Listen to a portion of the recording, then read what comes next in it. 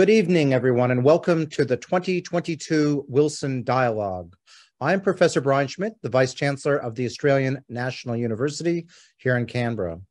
We're joined this evening by Ngambri Ngunnawal custodian Paul House, who will welcome us to country before we begin. Thank you, Paul. Amandangu, Wurugawuri, Brian. Thank you, Brian. And Yari Marang, uh, Burro Marambang, Diranilbang, Mayin. Uh, good evening, ladies and gentlemen, young men, young women, distinguished guests. The Honourable Tim Watts MP, uh, Miss Susannah Patton, uh, Mr. Daniel MP, and Professor Brian Schmidt, Vice Chancellor ANU.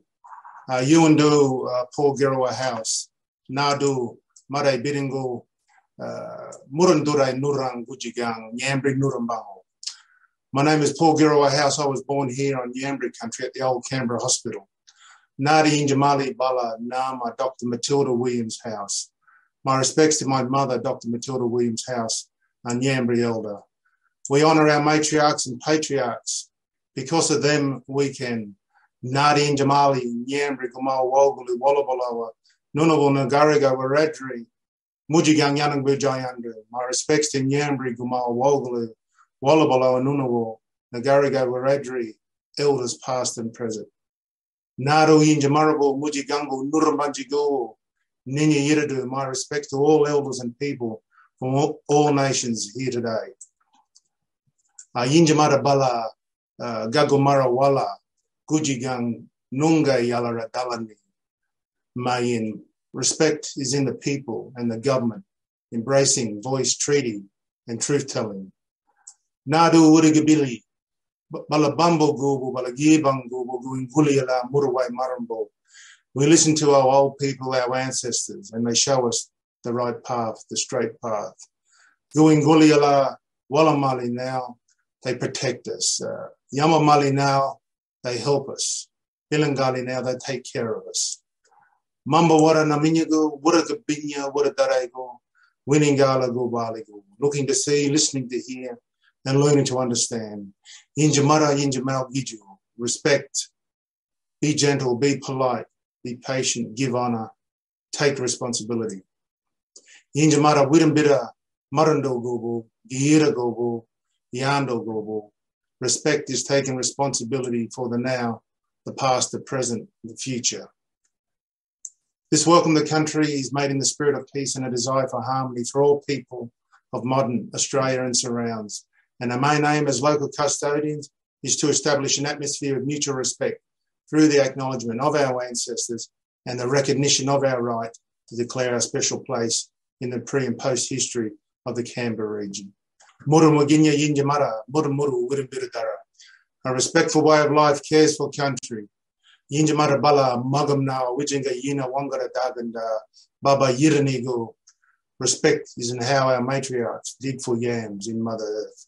Yinja mara magagiri biringa balgangu diranda. Ah, yinja mara bala birida bina bina wurrawan. Ah, you will nurumbango dara. Respect will be found in the journey of the Bogong moth in the mountains, in the rivers and the breeze, quietly moving through country.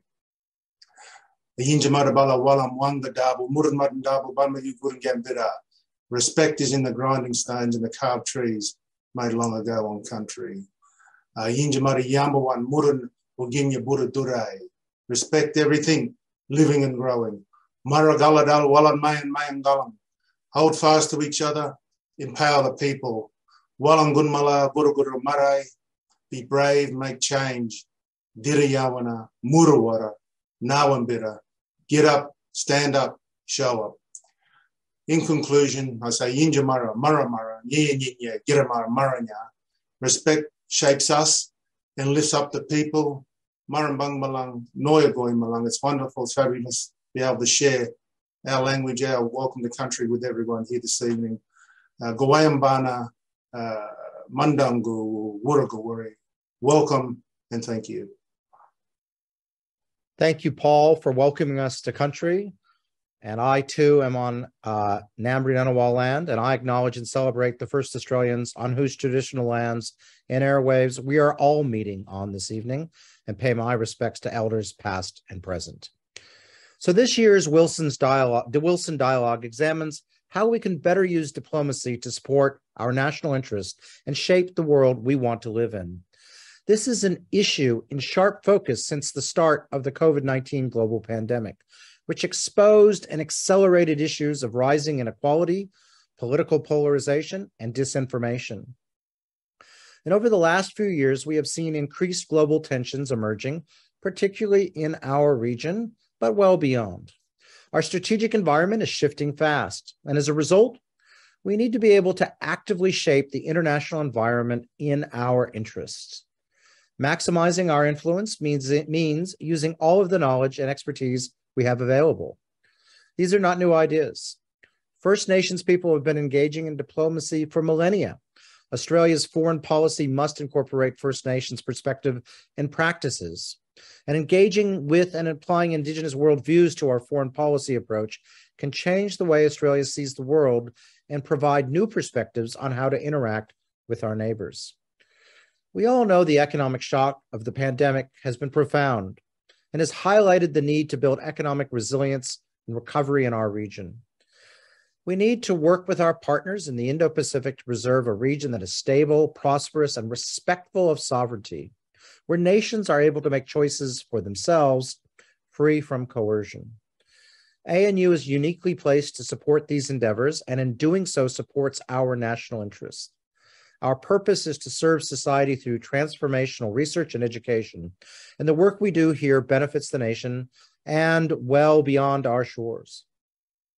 The ANU Coral Bell School of Asia Pacific Affairs is recognized as one of the world's best in the, the world's best in research for excellence and policy analysis in the political, societal, diplomatic, security, and strategic dimensions of international and Asia Pacific affairs. The National Security College is a joint initiative of the Commonwealth Government and ANU, and it lifts national capacity and helps deepen debate about emerging security challenges and policy responses. Now, in its second decade, the college works in Australia's national interest to develop whole of government and whole of nation security capabilities, to foster a skilled national network and communities of practice among Australian security professionals, and to facilitate debate and policy contestability on national security. I am proud that ANU researchers and experts are often called upon to interpret and analyze global events. As Australia's national university, we do have a responsibility to the nation to address the big issues, and we continue to help make sure that we provide a platform for meaningful discussions. This includes, for example, hosting the Ukrainian President Volodymyr Zelensky in August Tens of thousands of people turned in from around the country to hear President Zelensky reflect on what he sees as the heroism of his people amid the atrocities of war in his country. And as a national university, we gave students from our university and 20 other universities the chance to engage directly with the president. While we have much to do, we are fortunate to have access to some of the best thinkers, such as our distinguished speaker and panel here this evening. Tonight, our speakers will focus on the issues including growing strategic competition, unstable global economic circumstances, and national capability. So I'd like to welcome our guest speaker this evening, the Honorable Tim Watts. Thank you for making time to be here, Tim, and it is nice to welcome you here to our campus, albeit virtually. Now, after his keynote, Tim will join Zoe Daniel, MP, the independent member for Goldstein, and Susannah Patton, director of the Southeast Asia program at Lowy Institute, for a panel discussion. I will also welcome ABC Foreign Affairs reporter Stephen Dziedzic, who will chair the panel discussion. Thank you for all for making time here to be tonight. So without further ado, let's get started with the keynote address. The Honorable Tim Watts is the Assistant Minister for Foreign Affairs. Tim is the federal member for Gellibrand and Melbourne's West, one of the most diverse and dynamic areas of Australia. He holds a Bachelor of Laws honors from Bond University, a Master of Public Policy from Monash, and a Master of Science in Politics and Communications from the London School of Economics. Before entering Parliament, Tim worked in the technology sector for almost a decade as a senior manager at Telstra and as a solicitor at Mallesons Stephen Jaques, working on issues such as the rollout of the National Broadband Network, NBN, the radio communication spectrum auctions, and network pricing regulation. He also worked as the Deputy Chief of Staff for the Minister for Communications and a senior advisor to the Victorian Premier. Tim was first elected to the House of Reps in Gellibrand, Victoria in 2013. In opposition, he served as Shadow Assistant uh, Minister for Cybersecurity and Communications. Throughout his time in Parliament, Tim has been an active participant in a range of 1.5 track dialogues, including the Conference of Australian and Indonesian Youth, the Australian China Youth Dialogue, the Australia India Youth Dialogue, and the Australian American Young Leaders Dialogue, and the Australian American West Coast Dialogue, the Australian Regional Leadership Initiative, the Asia Links Leaders Program, and the Asia Society uh, Asia 21 Young Leaders Initiative. So, real focus on connecting, obviously, to the youth, which is great to see. So, thank you once again, Tim. Really appreciate uh, you being with us today and to the rest of the panel. I look forward to listening to your address and conversation thereafter. Thank you, Vice Chancellor. It's uh, a pleasure to be back at another wonderful ANU event. I had the privilege of attending the uh, address by Vladimir Zelensky at the ANU recently, and it was a, an outstanding uh, landmark event for the ANU. Um, it's a high bar to meet tonight. I fear the audience may be somewhat smaller than the thousands that were tuning in from around the world for that address. But I begin my comments uh, tonight by acknowledging the traditional owners of the land on which I'm broadcasting to you from, the Bunurong people, and pay my respects to their elders past and present. I also acknowledge any Aboriginal or Torres Strait Islander people in the audience uh, tonight and reaffirm the government's commitment to the full implementation of the Uluru Statement from the Heart, voice, treaty and truth. I acknowledge Mr Paul House, Ngunnawal Ngambri custodian who welcomed us uh, earlier today, Professor Brian Schmidt, the Vice-Chancellor of ANU, my co-panelists tonight and members of the academic community and public service. I'm honoured to be with you here today to deliver the keynote address at the Sir Roland Wilson Dialogue. The topic of this year's dialogue, the case for diplomacy, is timely. Our current strategic circumstances are among the most challenging we've seen, certainly in the time since Sir Roland Wilson emerged as one of Australia's most esteemed public servants in the middle of the 20th century. Competition amongst great powers is intensifying and reshaping the region in which we live. The rules based international order that has delivered an unprecedented period of peace and prosperity for our country is being challenged. Climate change and the lingering effects of the pandemic are causing substantial and ongoing economic and social upheaval. And the pressure this is placing on our international system and the nations operating within it risk escalation into conflict. We are already seeing this in Russia's illegal invasion of Ukraine and we're also seeing it in the potential for escalation in our own region. The challenges we face as a nation in this difficult international environment would have felt familiar to Sir Roland Wilson. Sir Roland died in 1996, aged 92, which meant he lived through just about every event of the 20th century, from the World War I to the fall of the Berlin Wall.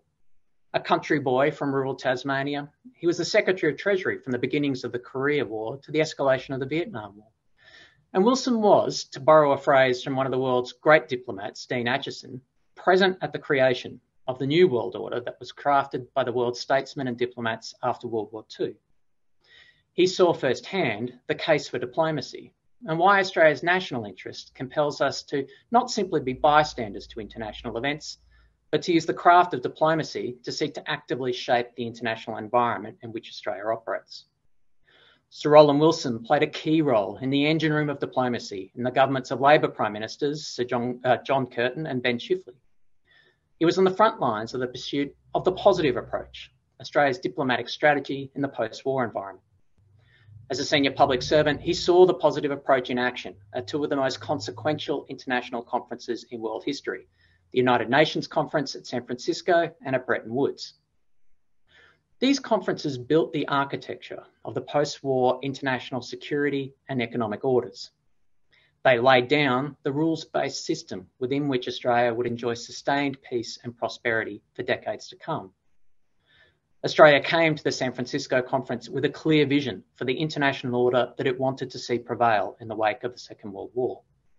An order in which all states, large and small, enjoyed collective security under international law, and an order in which economic stability underpinned strategic security. The Australian delegation insisted that the agency of smaller nations should be protected in this new international order, with the Foreign Minister, Doc Evatt, telling Parliament, quote, no sovereign state, however small, will wish to think that its destiny had been handed over to another power, however great. A successful world organisation requires an enthusiastic contribution from smaller powers, both in council and material support. Australia pursued a similar approach at Bretton Woods, the conference that established the IMF, the World Bank, and what would later become the WTO.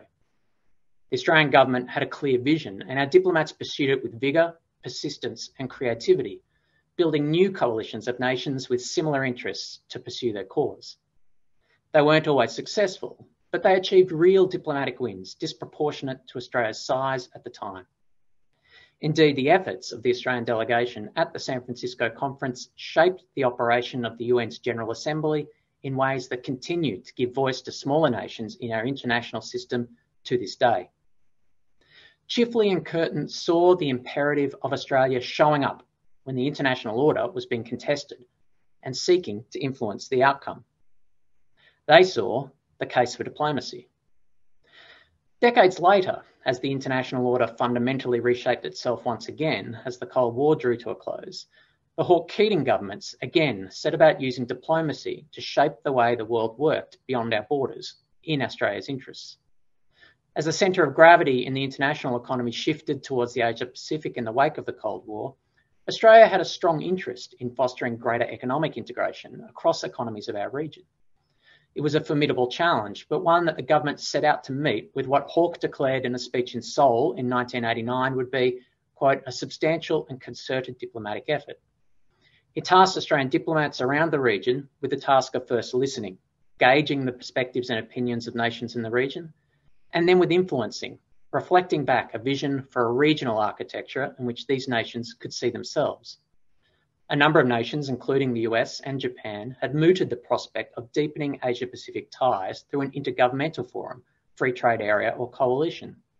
But it was Australian diplomacy that galvanised the support of the region, starting with ASEAN economies. And on the back of these efforts, the first APEC ministerial meeting was held in Canberra in November 89. Keating would take the initiative a step further. Remarkably, at the end of the Cold War, there was no international institution where the leaders of China and the United States would regularly meet. And upon becoming Prime Minister, Paul Keating took the initiative to again deploy persistent, creative Australian diplomacy to make it happen in the form of a regular APEC leaders meeting. For decades, APEC was the key economic forum in the region, fostering practical cooperation and serving as an incubator of new ideas and initiatives that fostered regional prosperity and stability. It was a boon for our nation, and Australian diplomacy made it happen. This kind of active, creative Australian diplomacy characterised the Hawke Keating government during the formative time for the post Cold War international order. Initiatives like the Cairns Group of Agricultural Fair Traders, the Cambodian Peace Accords, the Convention on the Regulation of Antarctic Mineral Resource Activity, the Chemical Weapons Convention, and the Nuclear Non-Proliferation Regime. The Hawke Keating governments actively looked for opportunities for Australian diplomacy to be influential on issues of national interest. After the Second World War and after the Cold War, Australia's political leaders and diplomats showed up to shape a rapidly evolving and contested international environment in Australia's nation, national interest. Today, in a rapidly evolving and contested international environment, the case for diplomacy to again shape the international order in our interests is compelling. Unfortunately, we've got some catching up to do in this regard. It's no secret that the previous government deprioritised and disregarded diplomacy as a tool of Australian statecraft. DFAT's role in navigating our way through this complex world was sadly diminished. We saw it in the way entire regions of the world were denied the most basic levels of engagement.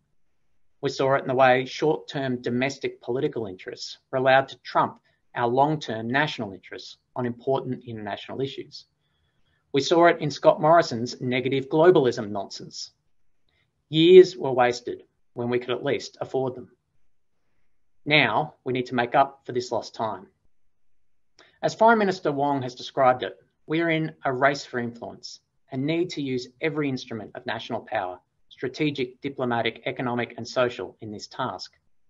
The Times again call for creative, active diplomacy to shape Australia's international environment during a period of transition. The Albanese government has set out an ambitious foreign policy agenda.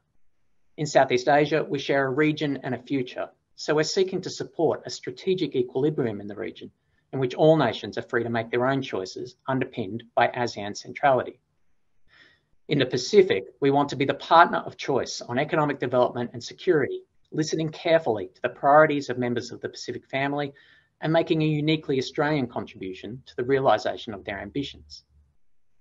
While we are not a global superpower, we know that Australia has global interests, and we will actively work inside multilateral forums to support the rules based international order and to respond to global challenges like climate change. We're pursuing this agenda with new resources and new energy, including the creation of my role as Assistant Minister for Foreign Affairs to bolster our foreign affairs team in the ministry. We're also seeking to maximise our influence in the pursuit of this agenda through creative new diplomatic agendas. One area where we're already deploying additional resources is in Australia's official development assistance. ODA is one tool of Australian diplomacy that has been particularly neglected during the past decade. When deployed effectively, ODA strengthens the ties on the ground between the Australian government and recipient countries. It builds on people to people links between governments, communities, and organisations. We've already seen what happens when Australia doesn't turn up. Others are ready to step up and fill the void. The Albanese government is increasing Australia's ODA to the Pacific and Southeast Asia by 900 million over four years to support the region's development and resilience. We're listening to the priorities of members of the Pacific family and deploying our resources accordingly, particularly in promoting economic development and building resilience to climate change. We're also deploying additional resources to the task of multilateral engagement. Part of the reason for the creation of my role was to enable Australia to have a ministerial presence in more multilateral forums and more parts of the world. Under the previous government, Australia wasn't engaging enough in regions beyond our immediate neighbourhood, regions like South America, Africa, and the Middle East. Yet, as we've seen in the recent UN votes on Russia's illegal invasion of Ukraine, Australia needs to work with nations from across the world to support the rules based international order that is currently under so much pressure. I've already made the first Australian ministerial visit to South America since 2018, and I'll soon make similar trips to Africa and the Middle East. But I've also made a point of listening to and engaging with the heads of missions of these nations based in Australia. And I can assure you it's already been warmly welcomed. We'll continue this responsible multilateral engagement in support of the rules based international order as we seek a seat on the UN Security Council for 2029 2030. We are committed to the United Nations as a mechanism for peace and stability, and we understand that to influence and protect these rules and norms, Australia needs to have a seat at the table. In addition to deploying additional resources in the cause of Australian diplomacy, we're also developing creative new tools of international engagement. One way we're doing this is by seeking to activate the commonalities of modern Australia with the global community. More than 70 nations are home to Indigenous peoples. And in this context, we're elevating the role of First Nations Australians and ensuring that their perspectives and their story are at the heart of the story that we tell about Australia through our First Nations foreign policy. The government will soon appoint an ambassador for First Nations people who will head an office of First Nations engagement within DFAT.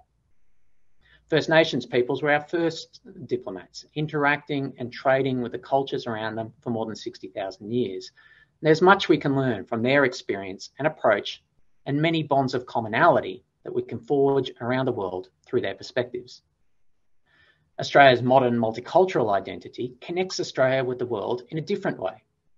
Home to more than 300 cultural ethnicities, where half of our population was either born overseas or has a parent born overseas, there's not a corner of the world that modern Australia isn't directly connected to. Projecting this modern, multicultural Australian identity back to the world gives us a point of commonality with next to everyone that we seek to engage with. In the past, though, cultural diversity was all too often perceived as an exception to Australian identity rather than representative of it. Our national symbols and institutions have all too often projected an outdated monocultural image of Australia beyond our borders. It's part of why I remain a committed supporter of an Australian Republic. But it's also why I've been a passionate about ensuring our institu- institutions reflect the diversity of the communities that they represent. Thankfully, we're starting to make progress on this front. Half of the new members of the Albanese Labor government have either a multicultural heritage or Indigenous Australians. The new Australian Parliament includes Australians with Vietnamese, Afghan, Sri Lankan, Tamil, Fijian, Pakistani, Kenyan Goan, Chinese Malaysian, and Chinese Laotian heritage, to name just a few. Senator, Senator Fatima Payman has become the first person ever to wear a hijab in Australia's Parliament. This diversity is a rich source of cultural insight and expertise for our national parliament and our government. The challenge for Australian diplomacy is projecting this story of modern Australia to the world. We've got a li- little bit to learn on this front. Communication is key to diplomacy. It's an enabling tool, but it's also core to the work. It's the way that we make a case for our positions. Because despite the commitment of our diplomats, diplomacy no longer speaks for itself. How we communicate what we're doing is nearly as important as doing the things themselves. The modern information environment is crowded and it's contested. Many nations are pushing competing narratives, and some are happy to deploy disinformation in service of their cause. For example, Putin's Russia absurdly calls Russia's invasion of Ukraine a special operation, and Ukraine's Jewish president a Nazi. It pins the blame for its unilateral, unprovoked, illegal invasion of a sovereign country on NATO encroachment. It's the kind of false narrative that's increasingly common today and can't be allowed to prevail uncontested. It's also an example of why we can't afford to consider public messaging as an optional add on or some kind of nice to do window dressing after the real work has been done. Getting our messages out strategically and effectively is the task of Australian diplomacy. It's core to whether Australian diplomacy will achieve the objectives of our foreign policy that I set out earlier. Communicating in this new environment requires new skills and capabilities, expertise in visual production, narrative storytelling, speaking in the many languages of the Australian community. Technology has enabled a way of communicating that wasn't available to us even a decade ago. It's allowed us to do diplomacy differently. Let me give you an example. My mate Sam Lim was born in Malaysia, but moved to Australia where he became the 2020 West Australia Police Officer of the Year and, at the last election, a member of the Federal Parliament. When Sam gave his first speech in Parliament, he wanted to thank everyone who had helped him along the way. So he gave his thank yous in English, Mandarin, and Malay, with even a bit of Hokkien thrown in as well. I tweeted out a snippet of this remarkable moment, and within hours, I was having a conversation via Twitter with thousands of Malaysians, including Malaysia's Prime Minister. The tweet has been retweeted thousands of times and, re- and viewed more than 1.2 million times. Through social media, I could shape how thousands of Malaysians, including Malaysia's Prime Minister, saw Australia as the modern, diverse country that it is. It's an example of the power that every part of Australia's diplomatic network now has to tell Australia's story to the world. To communicate effectively in the modern environment, we need to use tech savviness in combination with the remarkable local knowledge and good judgment of our network of diplomats around the world. Doing this effectively means that we must engage sensibly with risk, acknowledging we won't always get things right. We will need to be creative, learning lessons from others as we go. But in the changing media environment, all too often, the alternative will be that Australia's story isn't heard at all. Since being appointed to this role, I've had the privilege of seeing our diplomats and officials doing what they are trained to do, advancing our interests overseas. I've seen the sacrifices Australian diplomats make.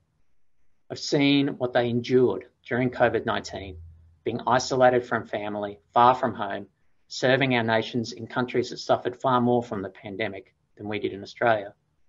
I've seen the personal price they paid for rushing to the scene of disasters where Australian lives were at risk, most recently at the 20th anniversary commemoration of the Bali bombing. I've seen Australian diplomats mastering complex political and cultural contexts to provide the insights, ideas, and strategic advice Australia needs to be influential in countries, across, in countries and across regions. I felt privileged to be able to work with them. Australia has always had some of the most capable, most creative, most resilient diplomats in the world. People like Sir Roland Wilson and the many outstanding diplomats and officials who have followed him. Former Department of Foreign Affairs and Trade Secretary and now Governor of South Australia, Frances Adamson, put it well when she said that Australian officials are seen as, quote, people who are willing to roll up their sleeves and get things done. Being Australian diplomats, it's sort of a can do approach, a problem solving approach, a convening approach You've got to be able to convene through the quality of your ideas and the ability to build bridges between people. We have some of the most skilled, committed, and practical diplomats in the world. What we haven't always had is governments who valued the role of diplomacy. During those periods where the capability of our diplomats has been combined with the government leadership that understands the power of diplomacy, Australia has shown that it's capable of doing big things, doing important things, to shape the international context to our advantage. And as we again find ourselves facing some of the most significant international challenges our nation has confronted, Australia must again harness the power of diplomacy to influence the world in which we live. That's what the Albanese Labor government is committed to doing. There's never been a more important time for it. There's never been a clearer case for diplomacy. Thank you. Um, I really appreciate uh, you taking the time and and giving that address. Hi everyone, welcome to this discussion. My name's Stephen Dziedzic. Um, I'm a reporter covering foreign affairs for ABC News uh, based in Parliament House, and it's my pleasure uh, to be hosting a bit of a panel discussion with the Assistant Minister and two guests to try and canvass some of the ideas that we uh, we heard Tim lay out just there. Look, I'll, I'll just introduce them briefly. Um, they may be already known to some of you. Uh, Susannah Patton is with us uh, here. Uh, Susannah is currently director of the Southeast Asia program at the Lowy Institute. Uh, and her research on Southeast Asia is largely focused on, quote, strategic alignment dynamics, which is one of my favorite phrases, and the roles of external powers, uh, including the US, China, and Australia.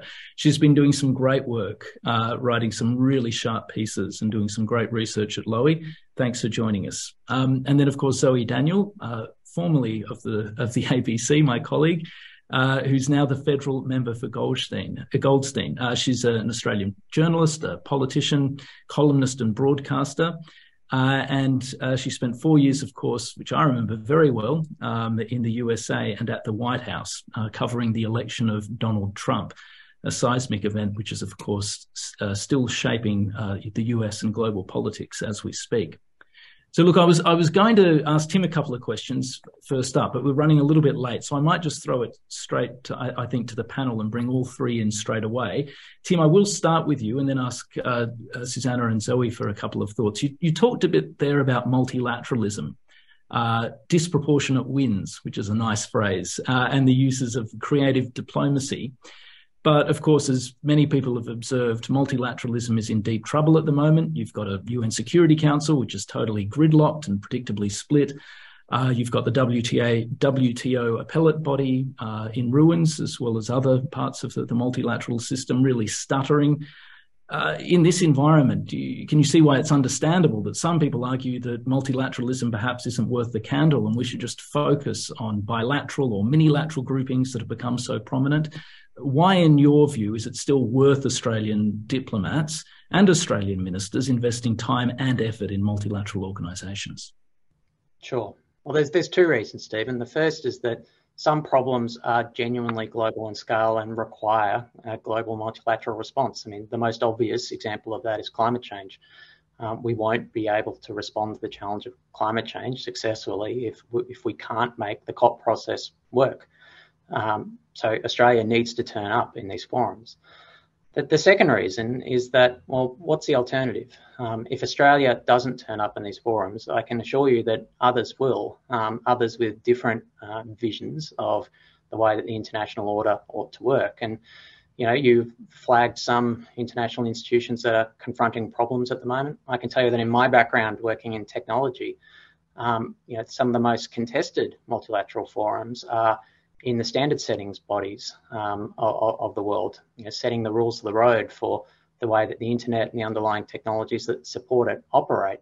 Um, if we don't turn up in those forums, others will and will shape those outcomes. And I could, might want to point out that in the latest uh, ITU elections, um, you know, Australia and uh, you know, the forces of good in inverted commas um, achieved a very significant win, um, an overwhelming win um, in, terms of getting a candidate who supports our view of um, the way that these systems and these standards ought to operate works. So we need to keep continuing to turn up because the alternative is far worse. I might go to you now. You've talked, this is slightly related. You, have talked about just how rapidly Australia's foreign policy settings have, have changed um, over the coming decade, uh, over the last decade, sorry. Um, and you've talked in particular about how Australia's security role um, is becoming more prominent in the region. Now, you could argue uh, that uh, Australia has done a middling job at best at explaining what's behind the shift and what's driving it. What do you think Australia needs to do in this space to articulate perhaps a little bit more persuasively what it's trying to achieve and the focus that we've increasingly seen on minilateral and bilateral uh, relationships? Thanks very much, Stephen. And there's uh, a lot in that question. Um, I think it's easy to underestimate from an Australian perspective just how fast our strategic policy settings have changed over the past 10 years. If you consider that it was only a decade ago that the Gillard government released the Australia in the Asian Century white paper, which was very much focused on engagement with China with a much um, with quite a downplaying of the security dimensions um, that the region was facing. To go from that to some of the statements that we've had from, um, say, the previous government, the 2020 Defence Strategic Update, which painted a very dark picture of the region, there has been a significant change. Um, likewise, we've had this week the announcement of the B 52 bomber um, rotational presence in Australia. That's only just over a decade since the original US Force Posture Initiative in Australia. And likewise, the emergence of multiple new institutions and minilateral groupings like the Quad and AUKUS. And all of these things have their rationale and their logic. And ultimately, you know, I think the view in Australia is that it's China that's changing the weather in Asia, and these things are a response. Um, but it's very easy, I think, as a result, to underestimate just how fast um, and how dramatic some of these changes can appear to our neighbours, um, especially in Southeast Asia.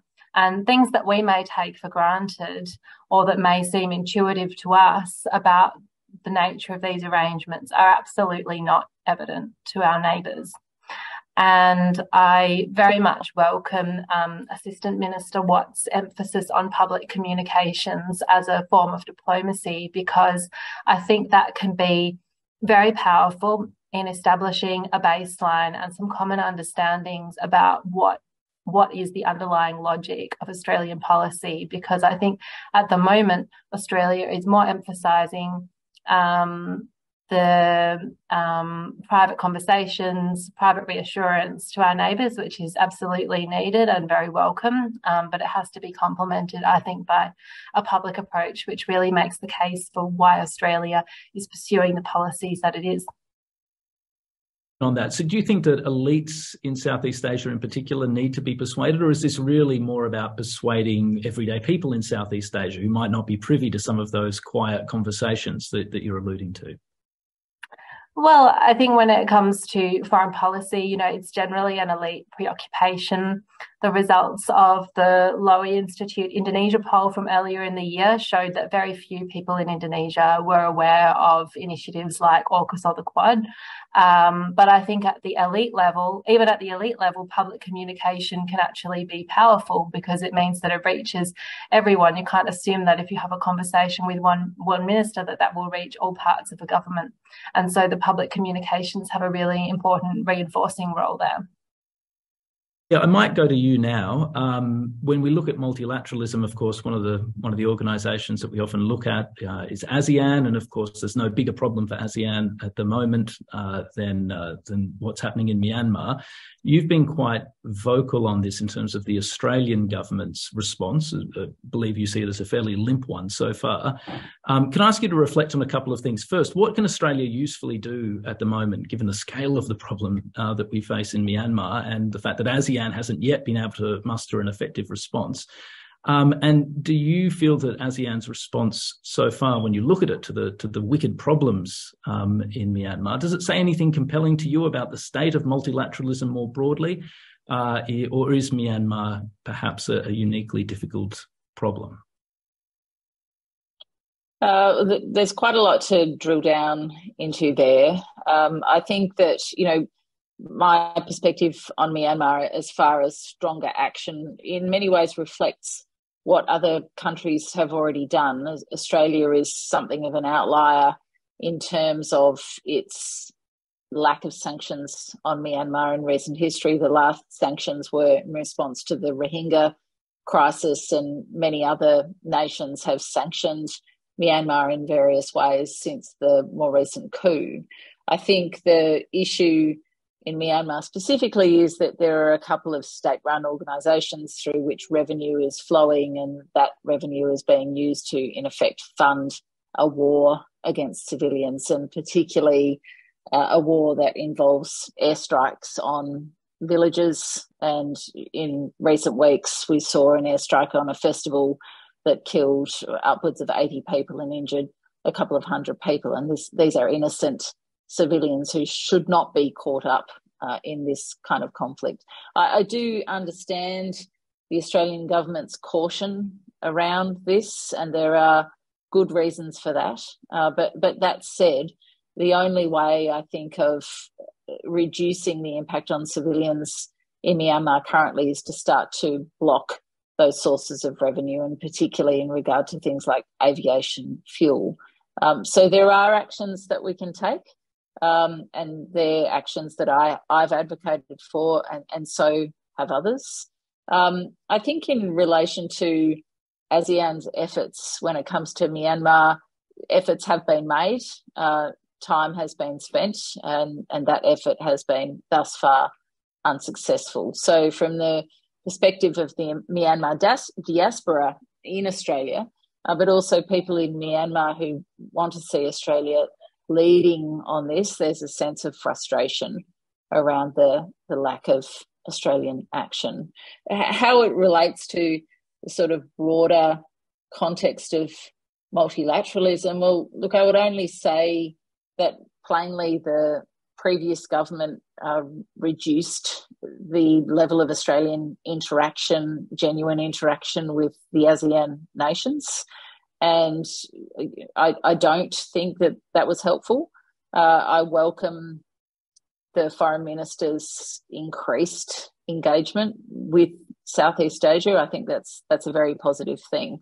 Uh, but I also think that when it comes to a situation like that unfolding in Myanmar, and I think many Australians wouldn't even realise that there are upwards of a million displaced people inside the country and around a million refugees who've fled out of Myanmar in the last couple of years, and that's happening right on our doorstep. So I think that we need to be shining a light on that for you an opportunity to respond specifically there on on the on the point about what Australia should be doing. But can I ask you also ask you some regional politicians, uh, including Singapore's foreign minister, have essentially said that what's happening in Myanmar represents almost an existential crisis for ASEAN. If it can't do something effective or useful when it comes to Myanmar, a crisis of this scale, then it's going to lose legitimacy, um, perhaps forever. Uh, what are your thoughts on both those points?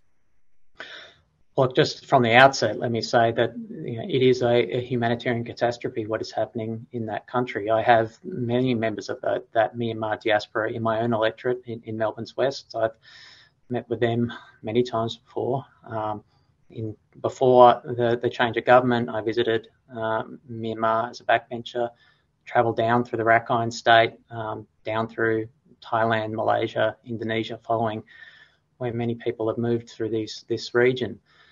Um, and I've spoken to people firsthand about the, the, the, horrific suffering that they, they've experienced. Um, so this is a, a, a, pressing issue for our region, um, and ASEAN has dedicated very significant attention to it. I know that the lack of progress um, in Myanmar is a source of enormous frustration to, to many members of ASEAN.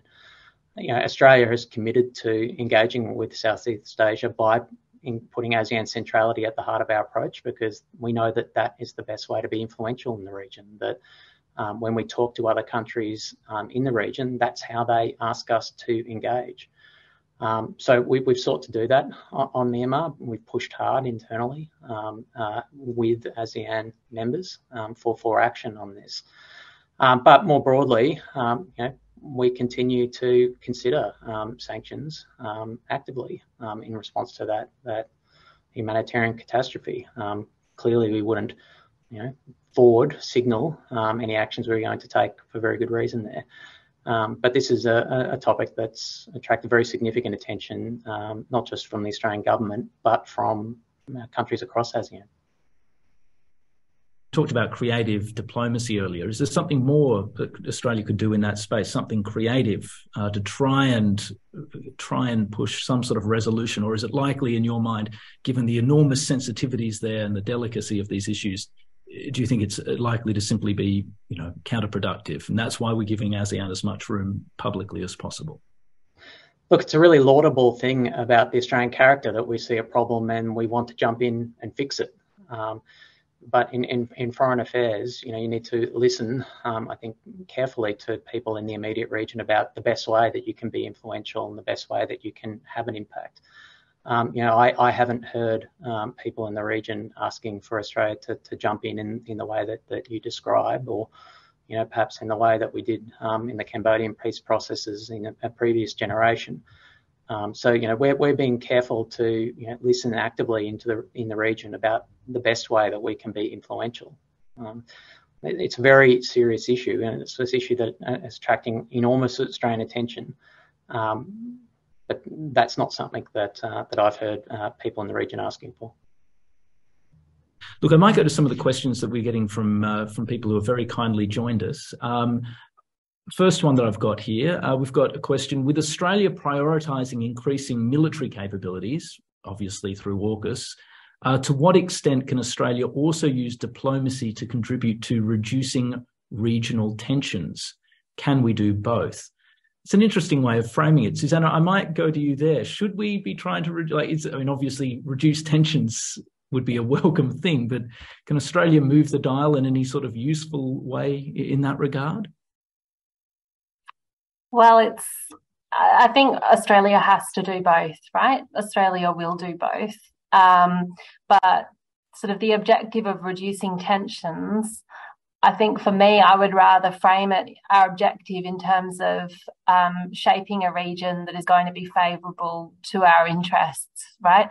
It's possible to come up with a long list of things that Australia and many other countries could do that would reduce tensions, for example, by accommodating China, but that would lead to a region that was absolutely not um, not one that would be in our interests. So I think Australia needs to continue to pursue um, very active diplomatic engagement with with all its neighbours as it is doing. But I think it's undeniable that there is a tension there um, with the um, sort of deterrent focus of our strategic policy. Um, I think there are tensions, um, but yeah, between deterrence and engagement on the one hand, between, as we were discussing before, between broad, inclusive, multilateral groupings and between um, minilateral groupings. But to me, this is the consequence of the fact that we live in a region which has these very big challenges. It means that our foreign policy and our diplomacy um, will need to have, we won't be simply one thing or the other. We will need to manage these at times competing and conflicting priorities. I'd bring you in there on a slightly sort of ancillary point. Um, you've been a bit critical of, in particular, the previous government, the uh, tone of a lot of its communications when it comes to China. Um, do you think, though, that both major parties have the broad policy settings basically right and that it's simply a question of tone as much as anything else? Um, or do you believe that there are other ways that Australia could actually meaningfully seek a rapprochement with China without, in some ways, seriously undermining our national interest?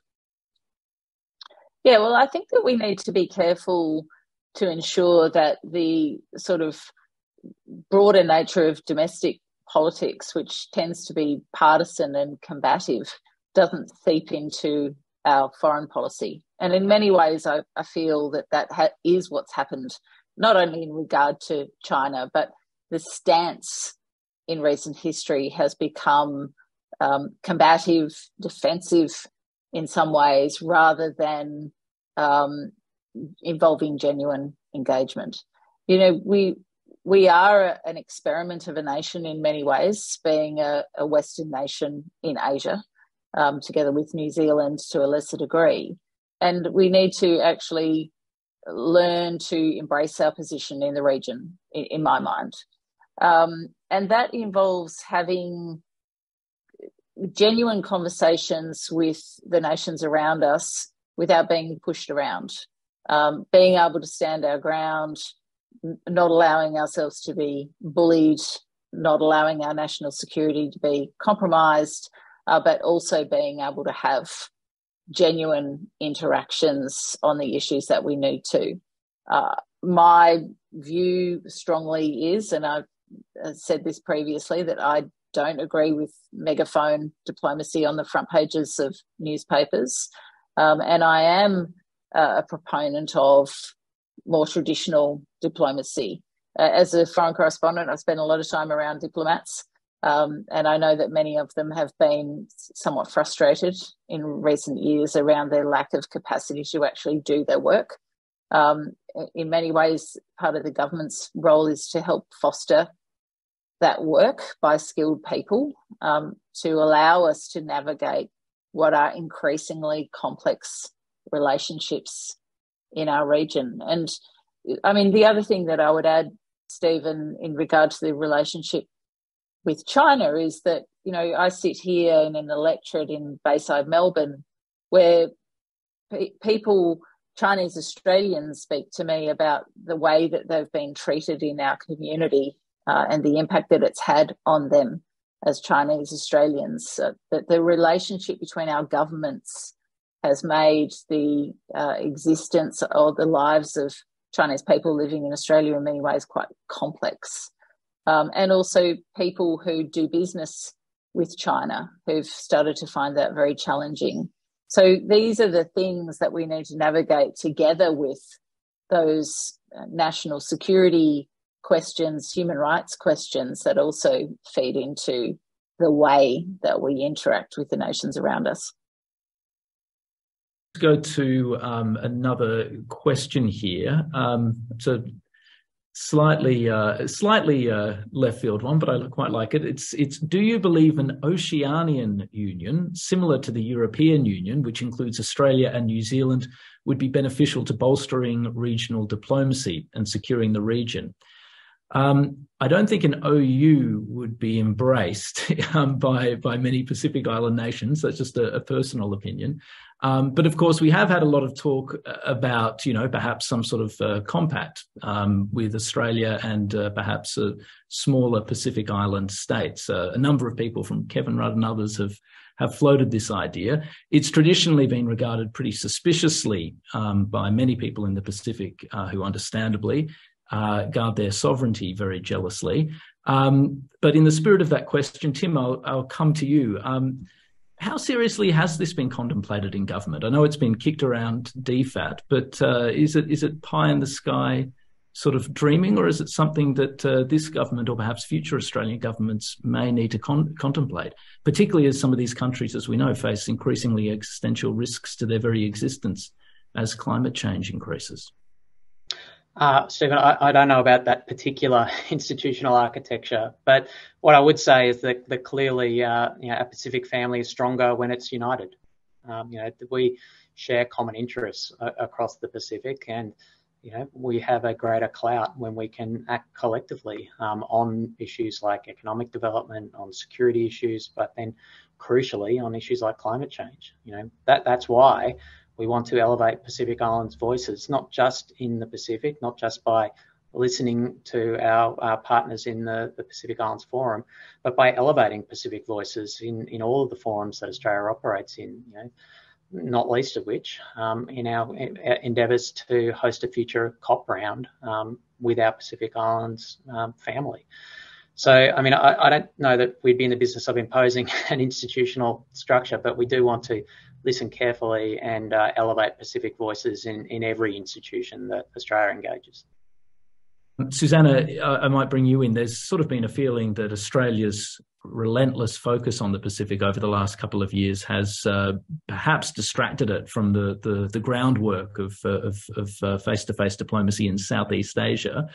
Um, what's your assessment of how Southeast Asian countries uh, regard uh, Australian statecraft and diplomacy in our broad policy settings? I know you've written a bit about this. There's obviously a level of unease from some countries about uh, AUKUS and the prospect of Australia gathering nuclear powered submarines.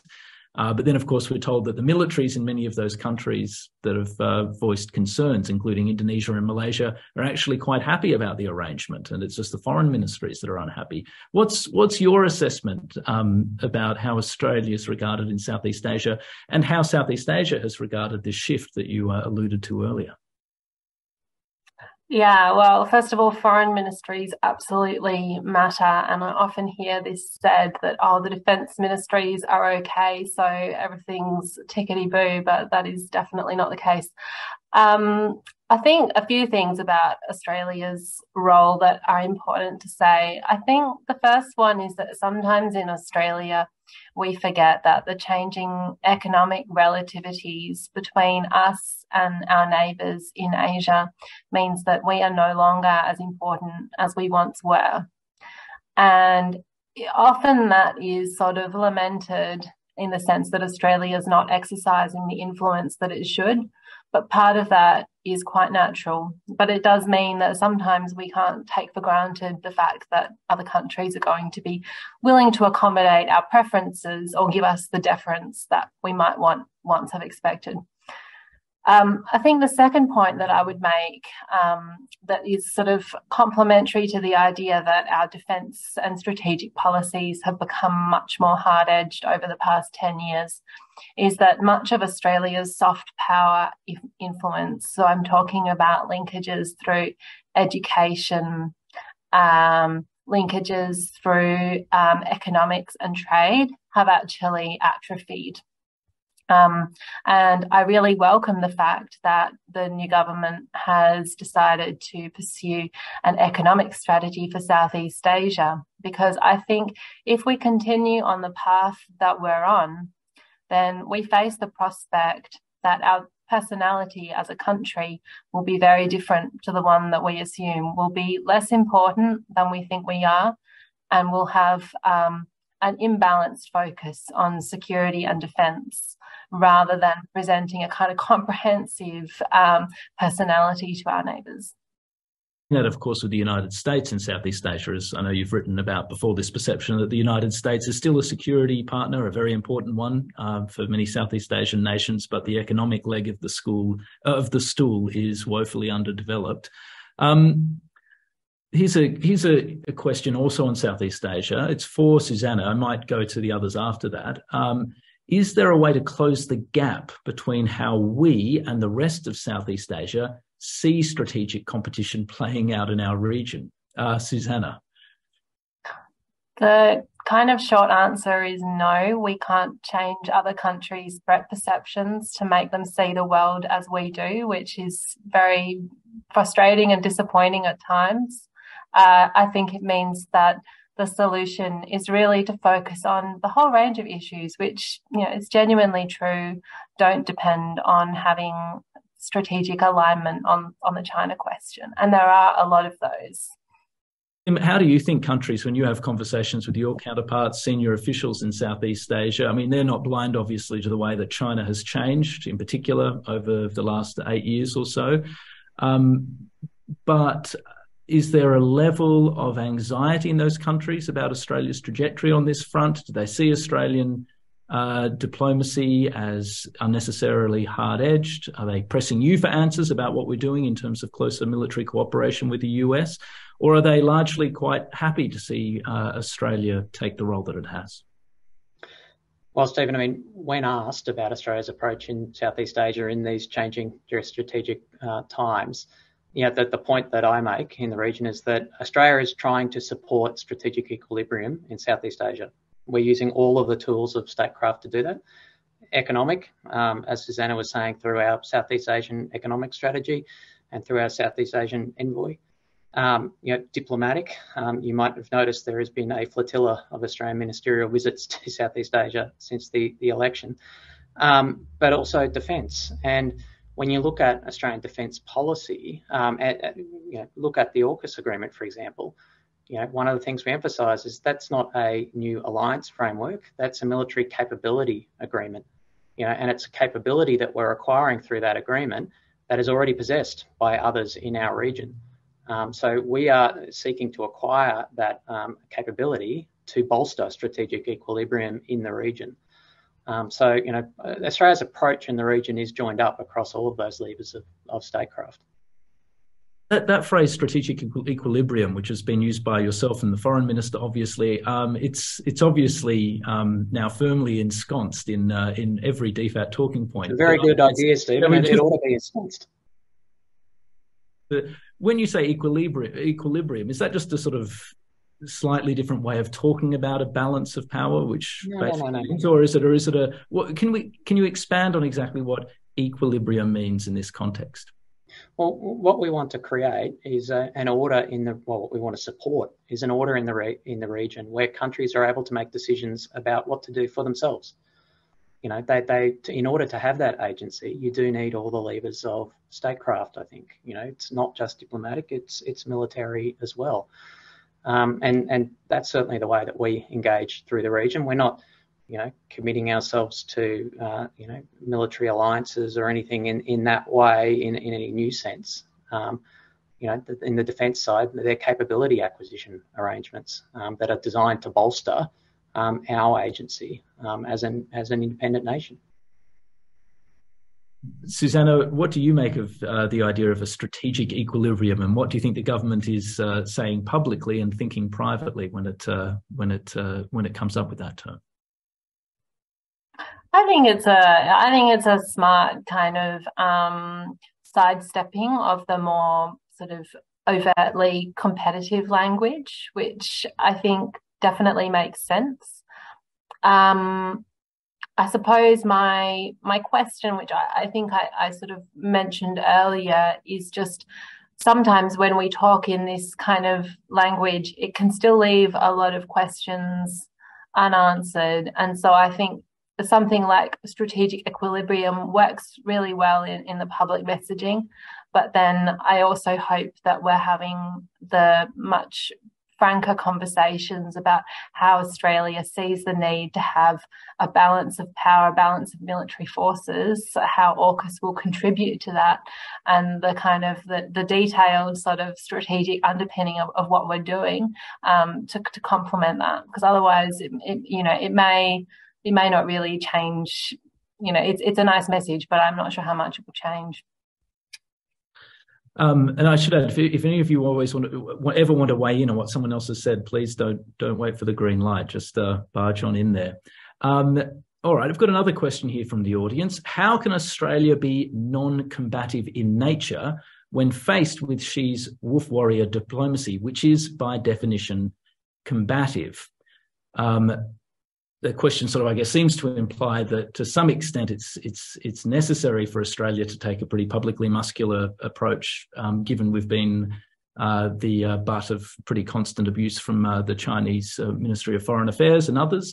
Um, Zoe, I mean that's a it's a it's a fair point that's been made there. Um, China's approach has been tonally aggressive as well as economically coercive.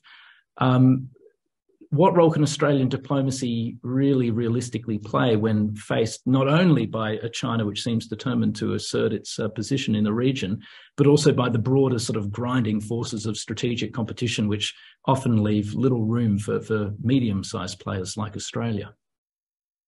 Yes, well, I don't entirely disagree with it um, to to the extent that you know the the muscular approach, as you describe it, has been necessary to some extent. I guess the question, though, is that if you continue to take only a muscular approach, what does that lead to? It's not a very sustainable position over time, particularly when the um, opponent, if I could describe it as that, is China. So, not being bullied and being able to uh, stand strong for Australian values and the Australian position when it comes to both national security and economics, I think is important. But there also have to be ways of having conversations in order to try to retain a relationship. Uh, and I think we got to the point over the last decade where the relationship was so frayed that there wasn't one. Uh, and that's a very problematic position to be in. I mean, to, to speak to the sort of idea of strategic equilibrium, uh, it, it's acceptable, I think, uh, to say that's something that we need to get back to. Um, the foreign minister's spoken about stabilisation of the relationship, and that makes perfect sense. Uh, I guess the next question, though, is what happens next? Um, do you try to, in some way, improve that relationship? And do you try to develop that relationship? And how do you do that uh, with the clash of positions um, be- between what is a mighty power uh, and a, a, country like Australia, which is um, not only keen to but must retain its national security and, and economic security in the region. So, this is the position in which we find ourselves. Uh, and that's the situation that all of those skilled diplomats and also Tim and uh, the foreign minister are currently navigating, I think, with new eyes. Uh, and I think that's a good thing. It'll be very hard for you to say anything remotely contentious. Um, and I and I, am not I'm not mocking that. I know it's a serious issue and it needs to be handled with care. But you obviously we've had a couple of meetings now uh, with the foreign minister. Um, I've also had the defence ministers meeting. A speculation that we may have a meeting between the prime minister uh, and, and, Xi Jinping on the sidelines uh, of the G20. Um, you're a few months in now, six months in or so. Do you feel any more optimistic at this point that the, the new government can find a way to create a more stable relationship with China? Can that can that needle be threaded? Look, it, it is going to take some time, Stephen.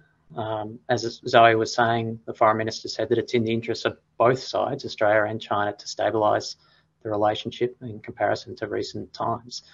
Um, you know, we've said that while the Australian government has changed, our fundamental national interests haven't changed. But we have said that we'll be calm and consistent in our engagement with China. So we'll cooperate where we can, and particularly I think there are opportunities on things like climate change, um, but we'll continue to disagree where we must. So on consular issues, for example, on the trade blockages that, that we, we, we want to see lifted.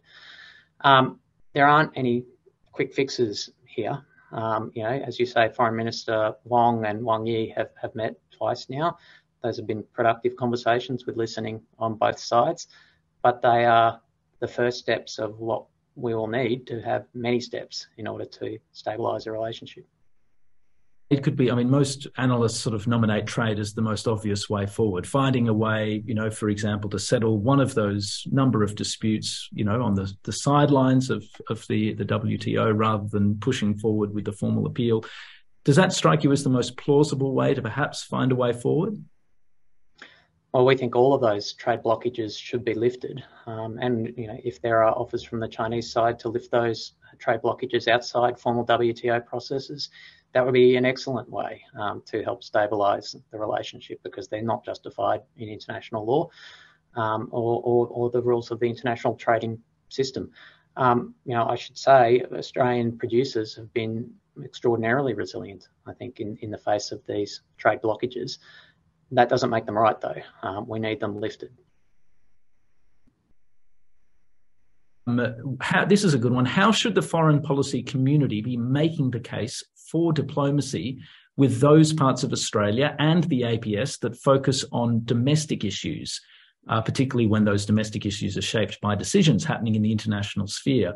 Which is a very good point because, of course, that boundary is increasingly a dissolved one. Um, Susannah, it's hard, perhaps, for an organisation like DFAT to to uh, to make the case. It doesn't have many natural conduits, um, you know, back to the Australian community to do that, or even perhaps the broader APS. Um, but are there ways for people in the system, or perhaps analysts like yourself, to try and make that case a little bit more broadly? I think it's I think it's a definitely a you know a difficult issue. Um, you know, one area that I've been looking at in my own research recently is the area of education. And this is a classic area where so much of Australia's um, influence in our own region comes from education. And yet, our education system, our scholarships from the sort of Department of Education side, if you like, have not been managed with a view to how do you improve the bilateral relationships with countries in our region. They've been managed with a view very much to domestic issues. And so I do think that um, that this is an issue where you know you have to have um, ultimately a prime minister who is going to say that these this question around foreign policy and our regional engagement is is so important that agencies that traditionally would prefer to focus on domestic issues um, will also bring an international lens to what they're doing because what we saw under the previous government in this space, for example, was that Australia's only purely merit based international scholarship the Endeavour Awards was scrapped and replaced with a scheme that was um, really mostly about boosting regional universities in Australia.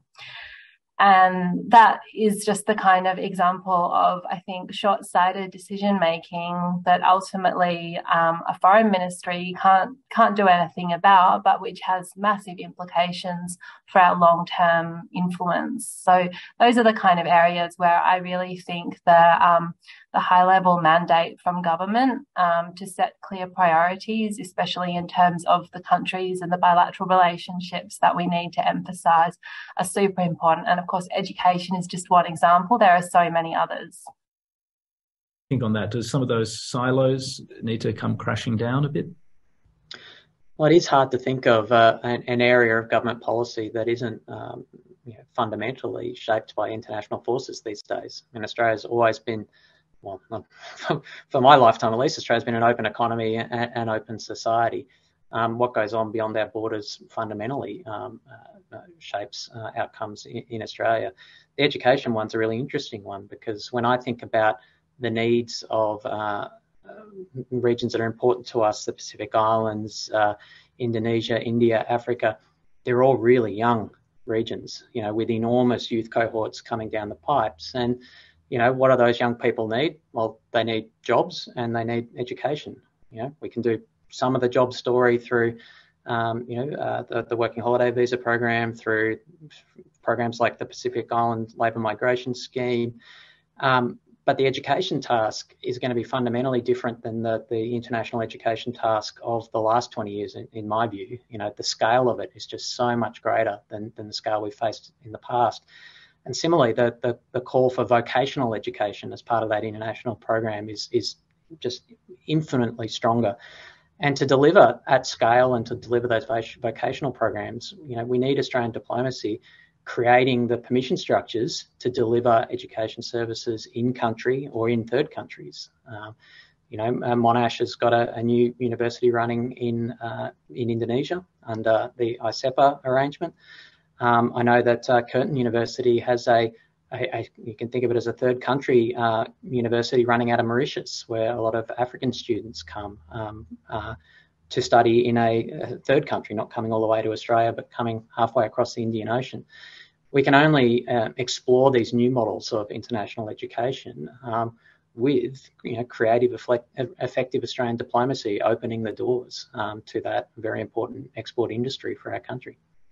There was a, a, feeling. I know you talked about DFAT and diplomacy being sidelined, but there was also a feeling um, under the former government that DFAT wasn't making the case energetically enough in you know inside government. Um, that it couldn't always present a compelling case internally. Um, Nobody has made that critique of Penny Wong. Right, right. I'll take that as a comment, as Tony Jones said. Um, look, I, I, might go to Zoe on uh, it's, it's another question of uh, the way that domestic and international policy collide, and that's of course climate policy, uh, because Australia's domestic policy settings obviously have big foreign policy um, uh, consequences. Uh, nowhere greater than in the Pacific, where we've come under pretty withering fire in recent years. Um, Zoe, what's your view? Um, do you feel like Australia's reputation and standing in the Pacific has been damaged over the last decade or so, decade or so, decade or so because of uh, basically our basically our inability to come up with a credible climate policy. Do you believe it's shifting under the current government, and if it is, is it shifting enough? Uh, well, yes, and yes to the first two questions. So, yes, there was damage, and yes, I think there's a sense of optimism. Uh, but I think that those that I'm speaking to among Pacific leaders are still waiting to see the proof of action rather than talk. Um, and I think that, you know, we can say all we like about wanting to protect the Pacific from climate change to the extent that we can, but then the only proof will be in the actions that we take. So legislating 43% uh, under the Climate Change Act, for example. It's a start. Um, it's a it's a good start for a country like ours that's been stalled um, for so long, but it won't be adequate for those countries that are on the front lines of this. And you already have um, substantial impact in the Pacific nations from climate change, clearly. And this is a, a much bigger issue obviously than uh, just the environment. I mean, this will become a, a potential national security issue for Australia. Uh, we already have this issue where we're having to deploy our defence force to deal with natural disasters, so-called natural disasters in our own country. Uh, but we may well end up having to support more and more of those kinds of disasters in the Pacific as well. Um, so it's it's a looming um, and fast approaching problem. And I think that, you know, the engagement has to be more than just engagement. It's it's genuine friendship, it's interaction, it's problem solving, it's, you know, what can we do together collectively with Pacific nations to to make the difference. And some of the things that you just talked about, um, and I, you know, in many ways, I see soft diplomacy as a sort of a cynical term, but it's to do with with actually integrating ourselves um, in, into the Pacific and in Southeast Asia through things like education, trade, sharing of workforces, um, the arts, um, all sorts of areas where we, we could be working to increase the, the links between our countries. Just quickly to you on that before we go to a final question um, on Russia, which I want to get to. But I mean, the consensus obviously there's there's been a fair amount of warmth towards the new government's policies on climate publicly, but uh, privately, a lot of Pacific Island officials are saying that the next thing they're going to broach is the question of new coal and gas. So, can the new government uh, credibly claim to be doing everything it can for Pacific nations facing an existential threat while it continues to approve new projects? Well, Stephen, the new Australian government, fundamentally, we're turning up, we're listening. So, Pat, you know, Pat Conroy, our new member for the Minister for the Pacific Islands, has been instructed to get out and visit every Pacific island this year, and he is halfway through that.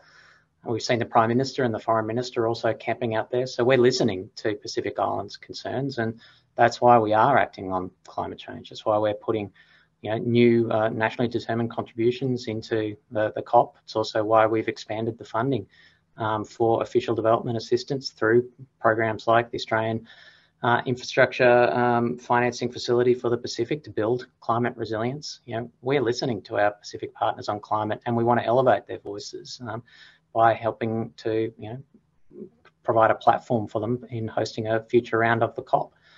Um, but you know that they're, they're, the kinds of practical things that, that we're hearing um, so far in our you know minister to minister, leader to leader engagement with Pacific Islands. I'd like to spend more time on that, but I'm conscious we've only got a few minutes left. Um, let's go last of all to the question of Russia and Russia's invasion of Ukraine. Um, a question here why is Australia reluctant to designate Russia as a state sponsor of terrorism? And it's a succession of questions, but I'll, I'll go to the final one as well. Which is a uh, bigger uh, influence or a threat to Australia, Russia or China?